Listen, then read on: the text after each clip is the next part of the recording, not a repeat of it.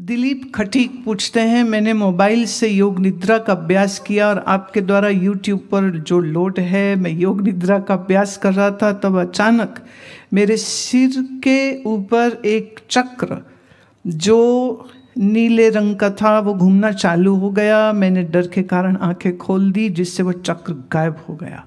कृपया इसके संबंध में कुछ स्पष्ट जानकारी दें। देखिए, जो चक्र आपको दिखा, वो कुछ और नहीं। जब मन एकाग्र होगा, ध्यान से श्रवण करो। जब मन एकाग्र होगा और वो जिस ज्ञान इंद्री के साथ संयुक्त हो जाएगा, उस इंद्री का अतीन्द्रिय अनुभव होने की संभावना डरने की कोई बात नहीं है। पर कई बार बालक मन है, साधना नई नई शुरू करता है। ऐसी कुछ जो विचित्र अनुभूति होती है तो वह आ सकता है। लेकिन अगली बार जब आप करें तो उसमें बड़ा शांत रहिए और वो जो नीला चक्र दिख रहा है, उसको खूब देखिए। आपकी कोई हानि थोड़ी हो जाएगी। देखो, जब हम खुली आँख से रंग देखते हैं, हम हैरान नहीं होते। पर जब आँख बंद की हो और भीतर रंग दिखने लग जाए तो हैरानी उसमें भी नहीं होनी चाहिए। कान से बाहर शब्द सुनाई देते हैं। आपका मन शांत है, आँखें बंद है और भीतर कुछ स्वर सुनने लग जाए। हैरान मत होना। इसे हम ध्यान के अतीन्द्रिय अनुभव कहते एक्स्ट्रा सेंसरी एक्सपीरियंसेस ऐसे ही आप बैठे हैं, आसपास कोई नहीं है, लेकिन अचानक आपके नाक में चंदन की, गुलाब की खुशबू आने लग जाए। अतीन्द्रिय अनुभव है। अथवा मुख में भिन्न भिन्न रस प्रतीत होने लग जाए। निश्चिंत रहिए, अतीन्द्रिय अनुभव है। ऐसी बहुत सी अनुभूतियाँ आती हैं, आने की संभावना है। अब आप पहली बार योग निद्रा करते हैं और उसी में ये अनुभूति आ गई, कारण? कृपा। और जिसको तुम कह रहे हो मैंने पहली बार की हाउ डू यू नो हम सब नए तो हैं नहीं ना इस संसार में। जाने कितने हज़ारों हज़ारों जन्म पहले हो चुके हैं। और जाने किस किस जन्म में क्या क्या साधना सीखी, सुनी की है। और उन्हीं के जो अवशेष हैं, स्मृतियों के, चिन्ह हैं वो आपके चित्त में है। तो संभव है कि कभी ये एकाग्रता सही बन गई तो कुछ पूर्व का जो आपका साधना काल कभी रहा हो, वो जागृत हो जाता है।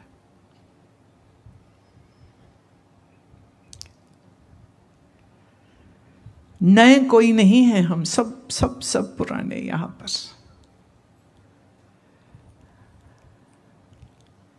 मैंने ये बात कई बार कही है, फिर कहती हूँ। एक नौजवान सत्संग में आने लग गया। महात्मा से उसका बहुत प्रेम हो गया, बड़ी सेवा भी करे। फिर चार पाँच दिन आया नहीं, फिर आया तो महाराज ने ही पूछ लिया, अरे, कहा थे तुम? आए नहीं। देखिए, अगर शिष्य को गुरु प्रिय होता है तो गुरु को भी शिष्य बहुत प्रिय होते हैं। फ़र्क यह है कि चेले बोलेंगे बार बार गुरु जी आपसे प्रेम है गुरु जी आपसे प्रेम है, गुरु माँ आपसे प्रेम है। गुरु ऐसे बोलेगा नहीं शब्दों से। पर शायद शिष्य से ज़्यादा गुरु उनसे प्रेम करता है, और शायद तुम आते नहीं हो, खींच के बुलाए जाते हो।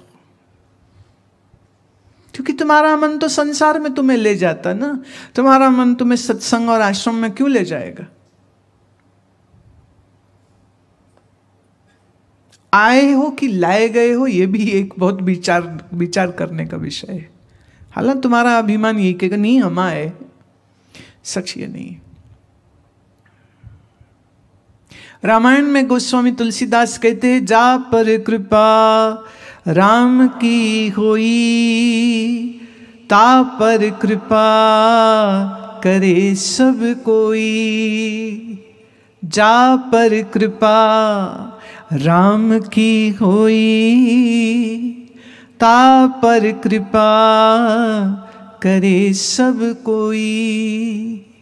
ले तो राम जी की कृपा है, जिसको मिल जाए, उसको सबकी कृपा मिलने लग जाती। क्या ऋषि, क्या महात्मा, क्या मुनि? यही बात तो लक्ष्मण जी ने पूछी थी राम से। कि हम लोग इस जंगल में आते हैं?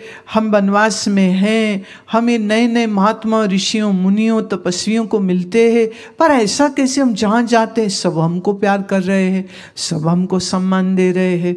सब हमको गले लगा लेते हैं। ये भैया, ऐसा क्यों है? तो राम ने कहा कि देखो, ये इन ऋषियों की कृपा है। कि ये हमको अपनी ओर खींच लेते हैं। और जब हम उनके पास खींचे हुए जाते हैं तो वो और भी प्रसन्न होते हैं, इसलिए हमको और ज़्यादा आशीर्वाद देते क्योंकि उन्होंने कुछ कर्म किया ना, जिसका नतीजा हुआ है। तो उन्होंने पुकारा है, तभी हम आए हैं। तो हम नहीं आए हैं, इन्होंने बुलाया है। ऋषि अत्रि हों, माता अनुसुईया हों, शबरी हूँ, कोई हूँ, बोले, इन्होंने बुलाया शबरी ने तो कहा था ना कि अपने गुरु मतंग ऋषि के आदेश पर मैं यहाँ बैठी रोज तुम्हारा रास्ता देखती हूँ राम, रोज रास्ता साफ़ करती हूँ, रोज फल चुन के लाती हूँ, रोज पानी भर के रखती हूँ, रोज दूध तुम्हारे लिए रखती हूँ। नहीं मालूम था कब आओगे, पर गुरुदेव ने कहा था कि श्री राम आएँगे। तो मैं तो तुम्हारा रोज राह देख रही थी।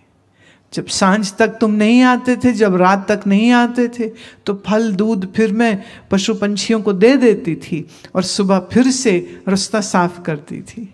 फल लेके आती थी, दूध लेके आती थी कि श्री राम आएँगे। गुरु ने कहा है ना आएँगे तो आएँगे।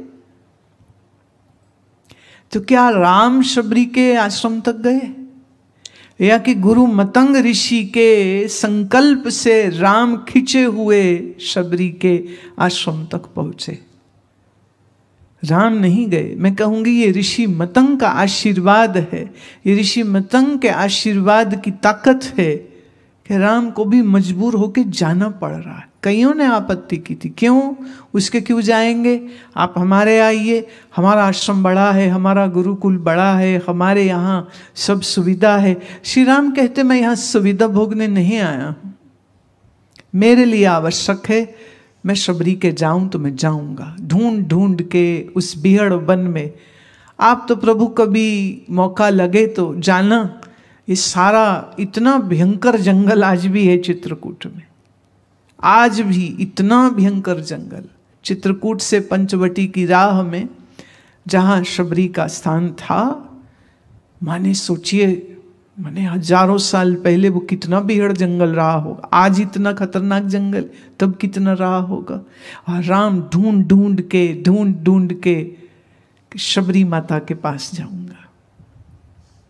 शबरी के यहाँ ठहरूँगा। किसका आशीर्वाद है? वाह। तो कभी कभी जब साधक साधना करते हैं, भले वो यूट्यूब से देख के कर रहे हो या यहाँ आके कर रहे हो, पर आपकी साधना को फल, आशीर्वाद से लगते हैं, और कभी कभी आपकी साधना को फल, आपके पूर्व जन्म की गई साधना से लगते, व्यर्थ कुछ नहीं जाता है, डिलीट कुछ नहीं होता, सब बना रहता अच्छा भी, बुरा भी।